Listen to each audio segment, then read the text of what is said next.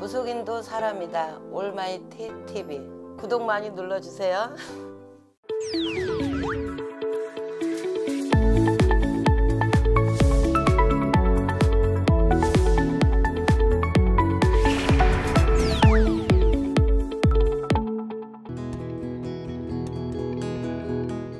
음, 거의 우리가 상식적으로 생각하면은 어, 장례식장에 귀신이 제일 많다고 생각을 하잖아요. 근데 저는 다른 사람하고 좀 생각이 좀 틀리다고 생각을 해요. 응? 우리가 그잖아 장례식장에 가면은 뭐 천주교에 다니는 사람도 있을 거고 기독교 다니는 사람도 있을 거고 절에 다니는 사람도 있을 거고 다 틀리잖아요. 근데 절에 다니는 사람들은 거의 또 스님들이 와서 천도제를 많이 지르고 연부를 많이 하잖아요. 그러다 보면 귀신들이 다가설 수 있을까 과연? 음 그렇고 또 기독교 다니는 분들, 어, 교회 다니신 분들도 와서 예배를 다 보잖아요. 하루 종일. 우리 3일장 7일 동안에 같이. 그러다 보면은 또 그것도 그렇고. 이게 종교마다 다 있다 보면 돌아가시면은 우리가 뭐 천주교를 다니고 기독교를 다니고 절에 다니는 사람도 있고 또 심지어 이게 무속인 쪽에 다니는 또 분도 계실 거 아니에요. 그럼 또 무속인 다니시는 분들은 또 그 낭자를 위해서 또 무속인 나름대로 또 준비를 하고 있잖아요. 돌아가신 분좀 이렇게 또 길을 닦기 위해서 어 그것도 시신을 먼저 어 천도를 시켜주려고 의외로 귀신들이 거기에 좀 접촉하기가 좀 힘들다고 봐. 예.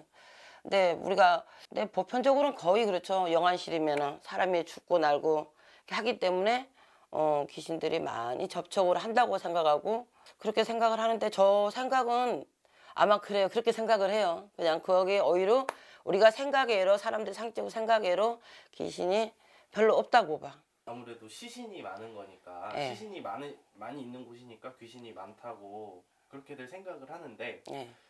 그러면 그 시신이 있는 거랑 그 귀신들이랑은 관계가 좀 없는 건지 생각하실 때 어, 좀 틀린 것 같아요.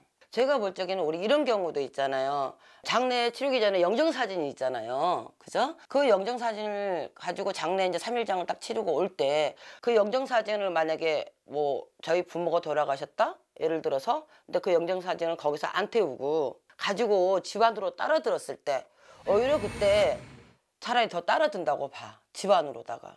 그래서 우리가 그 영정사진은 그런 말 있잖아요.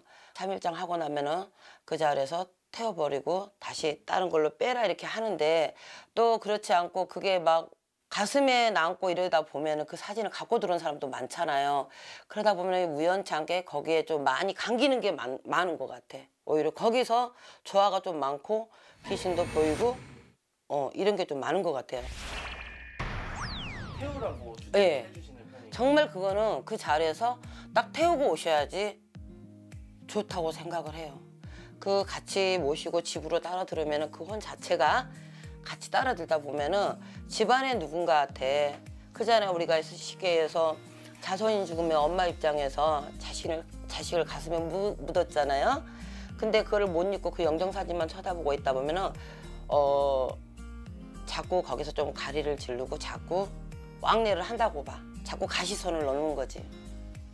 어, 그러다 보면은 조금 집안에 좀 오한이 좀 있다고 봐. 뭐 자꾸 꿈에도 나타나고 자꾸 뭔지 모르게 뭔가 내 옆에 있다는 그 기분? 음, 그런 게 좀 많은 것 같아요.